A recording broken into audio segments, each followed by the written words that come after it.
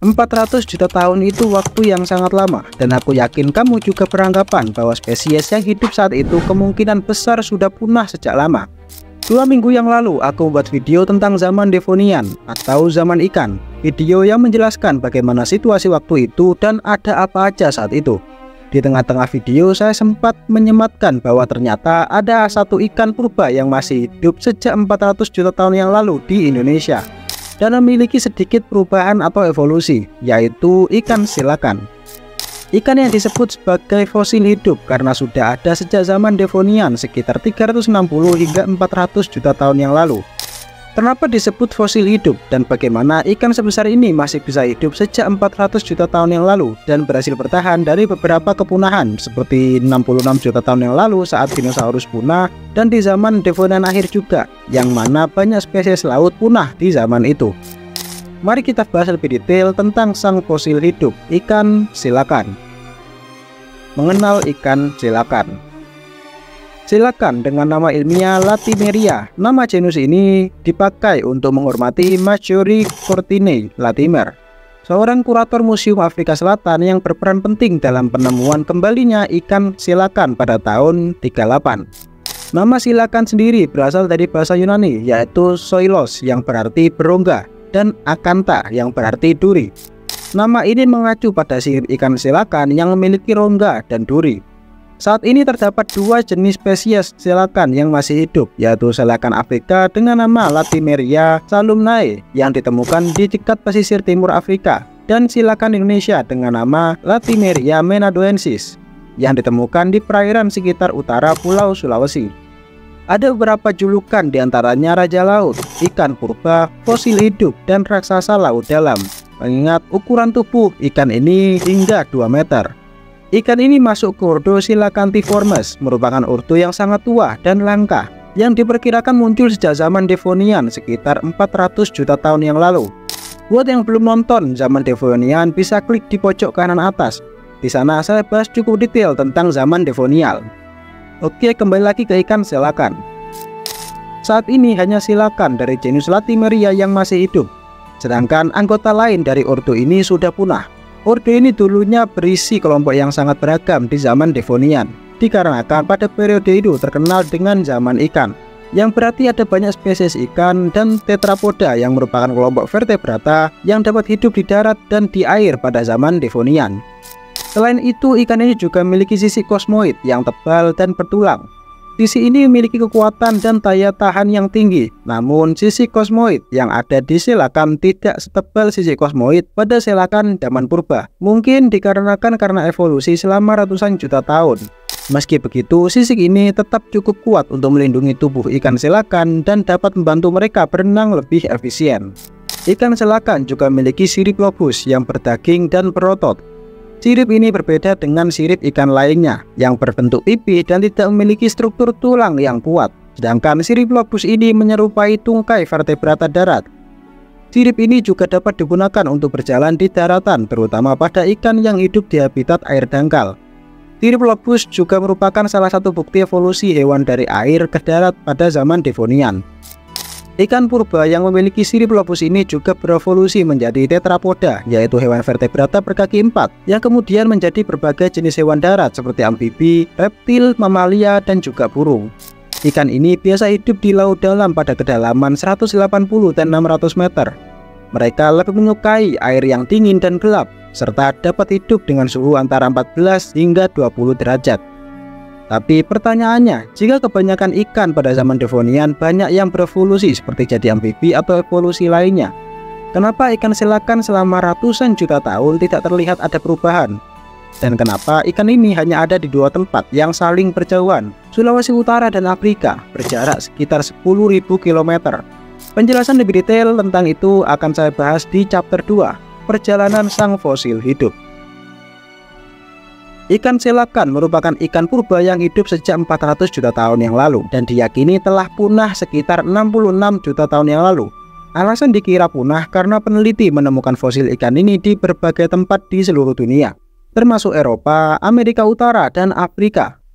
Para peneliti beranggapan bahwa silakan telah punah sekitar 66 juta tahun yang lalu karena beberapa faktor.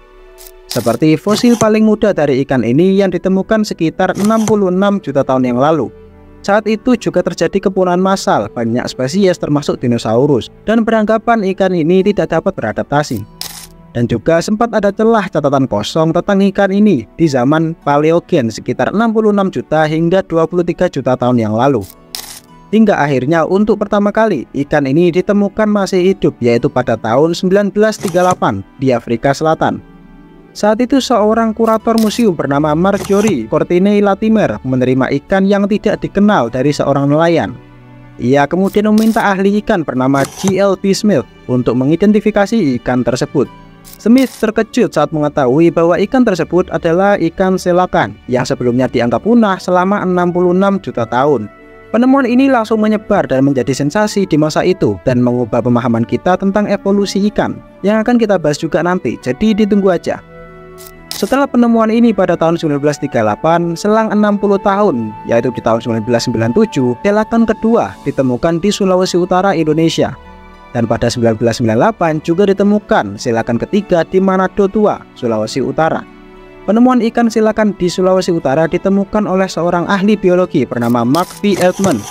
Ia menemukan ikan ini di pasar ikan di Manado, Sulawesi Utara. Saat itu Erdman sedang melakukan penelitian ikan di Sulawesi Utara. Namun ternyata menemukan hal yang tak terduga di sana. Ikan itu memiliki sirip lobus yang menyerupai kaki dan tubuh panjang berwarna biru abu-abu. Dari ciri-ciri itu, Erdman langsung mengenali ikan itu sebagai silakan. Julukan fosil hidup sendiri karena penemuan yang cukup mengejutkan waktu itu. Ikan yang telah ada selama 400 juta tahun dan sempat dianggap punah sejak 66 juta tahun yang lalu. Tapi bentuk dan ukurannya sejak 400 juta tahun yang lalu sempat dianggap tidak memiliki perubahan evolusi apa pun. Tapi ternyata ikan silakan memiliki sedikit perubahan evolusi selama periode waktu yang sangat-sangat panjang. Kenapa ikan silakan tidak terlihat mengalami evolusi? Itu karena ikan ini hidup di laut dalam yang mana lingkungannya relatif stabil dengan sedikit perubahan temperatur, salinitas, dan tekanan. Stabilitas ini memungkinkannya untuk beradaptasi dengan baik dan tidak memerlukan banyaknya perubahan evolusioner. Selain itu, metabolisme yang lambat dan usia reproduksi yang relatif panjang membuat ikan ini cukup hidup nyaman di bawah sana. Ditambah lagi, ikan ini juga memiliki sedikit predator di laut dalam. Namun penelitian terbaru menunjukkan bahwa ikan ini telah mengalami beberapa evolusi meskipun tidak sedrastis ikan-ikan lain. Yang pertama perubahan genetik. Analisa DNA menunjukkan bahwa selakan telah mengalami beberapa perubahan genetik selama jutaan tahun serta evolusi adaptasi fisiologi yang artinya ikan ini telah beradaptasi dengan fisiologis untuk hidup di laut dalam seperti mata yang besar untuk melihat dalam cahaya redup dan gelembung minyak untuk membantu mereka berenang. Lalu kenapa ikan ini tersebar sangat jauh, sekitar 10.000 km, ada di Sulawesi Utara dan spesies lainnya di benua Afrika, tepatnya di Afrika Selatan? Ada beberapa penjelasan pada zaman dulu, Afrika dan Asia terhubung dalam super benua Gondwana. Dan silakan mungkin telah menyebar ke seluruh Gondwana dan ikan ini juga mampu berenang jarak jauh dengan bantuan arus laut. Konservasi lingkungan ada cerita menarik pada tahun 2018, seorang nelayan di Manado bernama Muhammad Idam secara tidak sengaja menangkap seekor selakan. Idam tidak mengetahui bahwa ikan yang ia tangkap adalah spesies selakan dan langsung membawanya ke pasar untuk dijual. Ikan itu kemudian dibeli oleh seorang pedagang ikan bernama Nani Tuwo. Nani Tuwo mencurigai bahwa ikan itu adalah ikan selakan dan langsung melaporkannya kepada pihak berwenang petugas BKSDA Sulawesi Utara.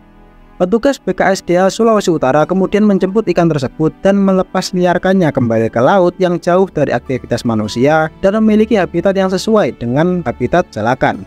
Saat itu ikan ini masih hidup namun dalam kondisi yang cukup lemah. Tapi apa jadinya jika dimakan? Bagaimana rasanya? Saya tidak menemukan adanya cerita dan artikel orang pernah memakan ikan ini. Tapi jika dilihat dari hasil penelitian, dari gaya hidupnya dan tekstur dagingnya, Rasa ikan ini kemungkinan hambar karena kandungan lemak yang rendah sekitar 5%. Hal ini menyebabkan dagingnya terasa tidak gurih. Selain itu, tingkat aktivitas yang rendah membuat daging ikan ini tidak banyak mengandung protein dan karena hidupnya di laut dalam dan memakan makanan yang terbatas, hal ini juga menyebabkan dagingnya tidak banyak mengandung rasa. Penting untuk dicatat bahwa ikan selakan adalah spesies yang dilindungi karena merupakan spesies yang terancam punah Lokasi habitat selakan di wilayah Sulawesi Utara juga dilindungi di Taman Nasional Bunaken, Cagar Alam Laut Teluk Manado, dan Kepulauan Togean. Dan beberapa spesies juga sempat ditemukan di wilayah Papua. Upaya lainnya dengan memberikan edukasi ke masyarakat sekitar apabila tidak sengaja menangkap ikan ini diharapkan bisa langsung melepaskannya kembali ke lautan. Pemerintah Sulawesi Utara juga serius dan berkomitmen untuk menjaga ikan selakan dan menjadikannya sebagai salah satu ikon kota Manado, Sulawesi Utara seperti dibuatkan patung dan bahkan pernah sebagai desain event Fiesta Manado 2017 dan 2018. Jadi gimana menurut kalian tentang fosil hidup ini? Next kita bahas apa lagi? Komen di bawah dan sampai jumpa di video selanjutnya. Bye-bye.